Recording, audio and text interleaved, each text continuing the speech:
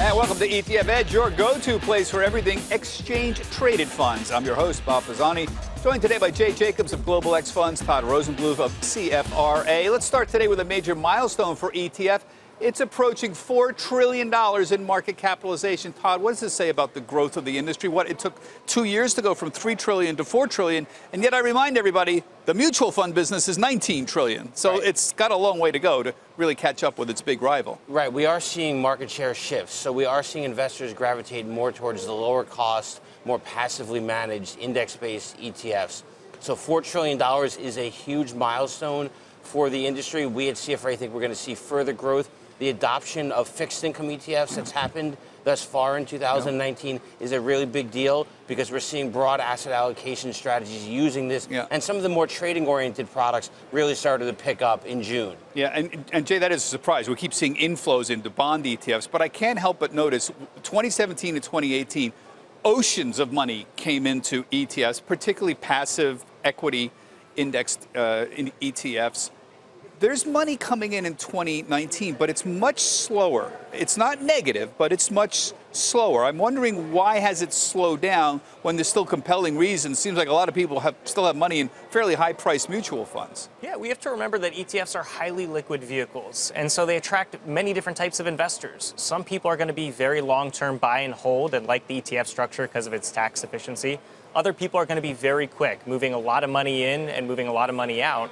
I think this year some of that hot money is maybe staying on the sidelines or looking at different investments rather than using the ETF vehicle. But if we look at the long-term trend, ETFs are still growing very fast. Is that what we're looking at then? So it, it, there's a lot of tactical trading now in ETFs. We, we have to remind people that there are active traders that are moving money in and out of ETFs all the time. And if all of a sudden, like December, they decide to move to the sidelines, then the assets under management are going to drop. Right. So we saw that again in May also. So there was outflows towards U.S. equity-oriented ETFs, but they came roaring back in June. So the triple Qs, SPY were some of the more popular ETFs in general, and we saw strong inflows into those in June. And we think we're going to see that again in the second half if the equity markets continue to perform well. And yet 19 trillion is a long way to go. Mutual funds, 4 trillion in ETFs. Isn't the real problem that mutual funds still own the 401k business. Without, unless you crack the 401k business, I don't know how ETFs are ever going to come close to mutual funds in terms of assets under management. Right. So the 401k market is largely a buy and hold forever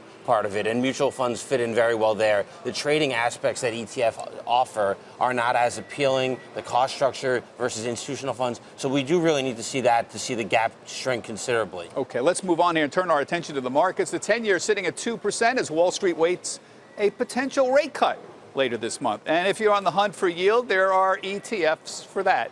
Now, Jay, you run the Global X Super Dividend ETF, ticker SDIV. It consists of 100 global securities and sports a dividend yield of more than 9%. This is amazing. If somebody said to me, hey, how about a, an ETF that has a dividend yield of 9%, consists of big, well-known names, I'd say sign me up. And yet the assets under management are fairly small. The, the you know the price uh, doesn't move that much compared to some other major indexes. Well, what is the idea here, and why does it why, do, why aren't people flocking to it? Sure. Well, it seems like a great idea. It, does have over $900 million in assets under management. So this is not yeah. SPY, but it's not tiny. Um, it fits in a category of what we call high income alternatives. So we've seen a lot of flows this year into fixed income ETFs. And the question is, is that a flight to safety or is that search for yield? We've seen a lot of flows into our high income alternatives, which includes equity dividend payers, it includes covered calls, MLPs. So we think this movement this year, a lot of that shift in ETF assets is looking for yield. And it makes a lot of sense when you consider the macro environment. The Fed maybe probably cutting rates two or three times this year.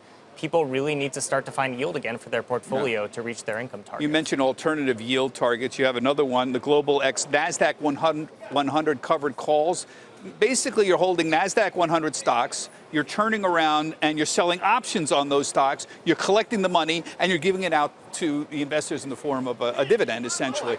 10%, again, this sounds like, hey, this is fantastic. And yet, still, it, it, what's the sort of thing people need to be aware of when they're doing something like this? Sounds like a great idea. Let's sell covered calls. Yeah, it's it's an alternative strategy. So a lot of advisors, a lot of uh, individual investors do this themselves, but it's a challenge to roll those call options every single month. An ETF is doing that for you. Global X is doing the portfolio management aspect of that. So are, are you always guaranteed to make a profit when you're rolling it over? Not necessarily. No, right? absolutely not. I mean, if you look at the way that that ETF works, you're selling the upside and gaining an option premium. So that works very well, especially in volatile markets where those options are more and more valuable. But if you see a huge bull run in the NASDAQ 100, you've traded that upside for the option premium. So Yeah. it's a unique strategy for harnessing yield.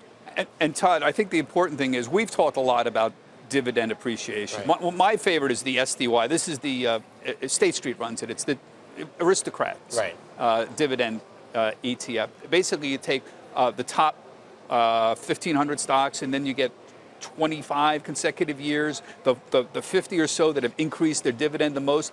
Uh, this seems like the way to go. To me, you want companies that are consistently increasing their dividends and take the smallest group that's increasing the most over the last 25 years, and yet the returns against a, a, a, you know a, S&P 500 have been fairly modest. Yeah, but these are popular products. So SDY is the S&P 1500, NOBL, which is a ProShares product, which is just the S&P 500. You have a very select list of companies that have raised a dividend as often as you've had, and you get diversification across a variety of sectors. And we've seen just this So they're year. not. It's not. It, I'm trying to think. of What's the proper way to look at it for the investors? It's not that you're seeking outperformance necessarily, price plus dividend.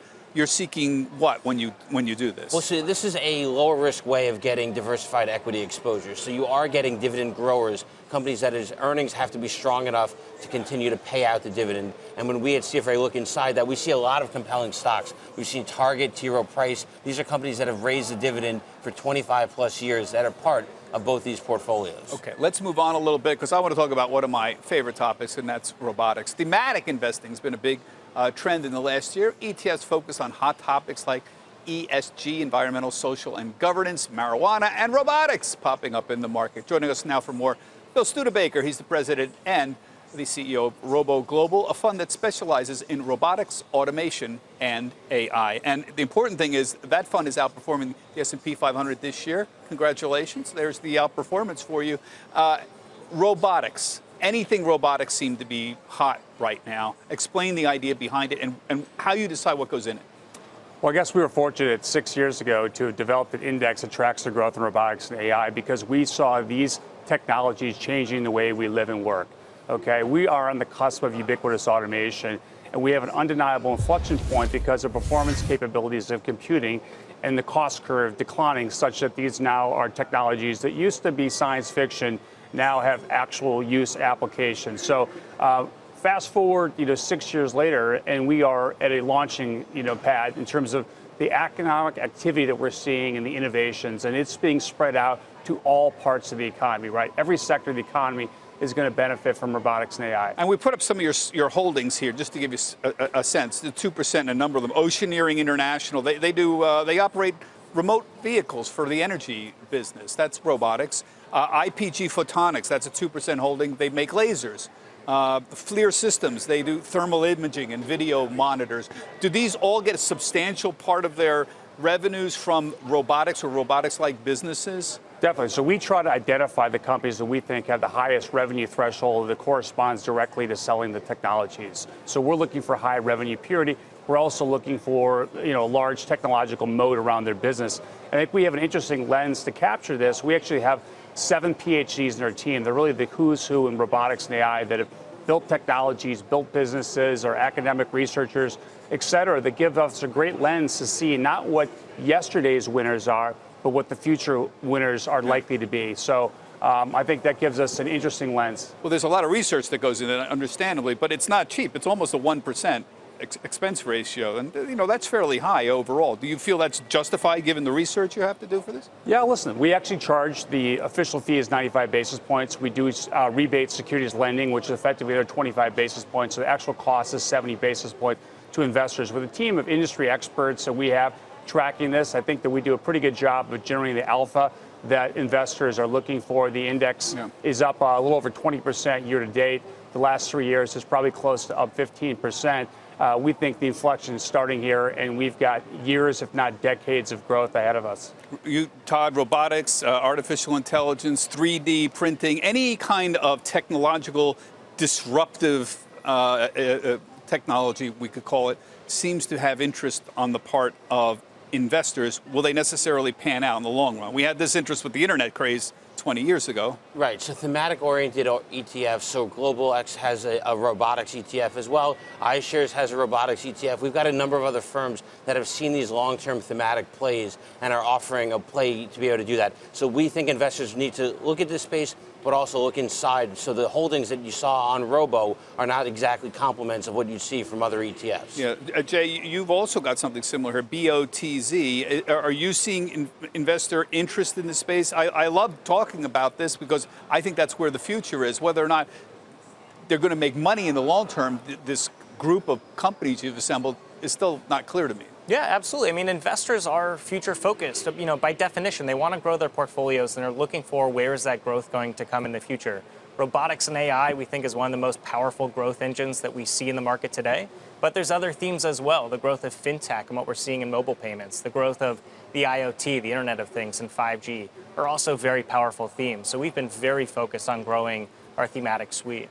Before we let you go, you've got a new ETF out, uh, sort of an extension of the Robo brand here just in the last day or two. Uh, global healthcare technology. I guess this is the same theme, right?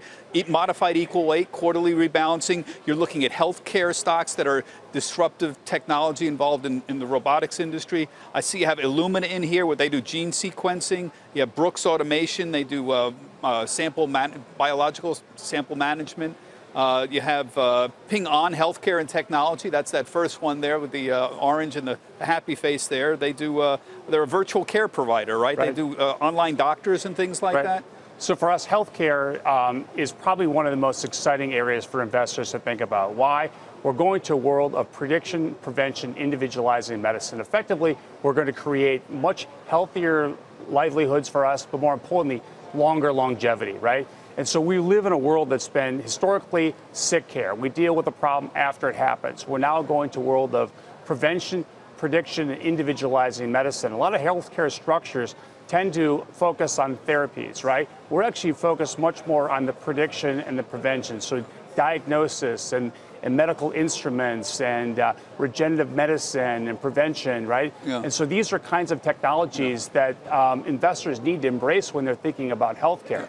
The two thematics that seem to matter to me are ESG that's got a little bit of traction, and I call them technological thematics like robotics and, and, BOTZ. Would you agree, or is there some other thematic aspect that we're missing that we should pay attention to this year? I think those are those key ones. So ESG products have been popular. Some institutional investors have been gravitating towards that, and then more technological products, but that are different than what you'd get in XLK or VGT, the, the heavyweights in the space. So you're not going to find Microsoft and Apple yeah. in some of these more thematic-oriented That's ETFs. exactly what I like about them. Gentlemen, thanks very much, and that does it for this week's ETF Edge. I'm Bob Pisani. My thanks to Jay, to Todd, and to Bill for joining us today. And thank you for watching. You can find all of our latest videos right here on our website, etfedge.cnbc.com. We'll see you next Monday, same time, same place. Have a good week.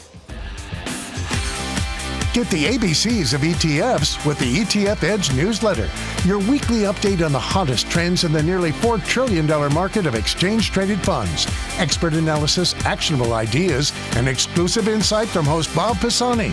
Sign up now at cnbc.com forward slash ETF Edge newsletter.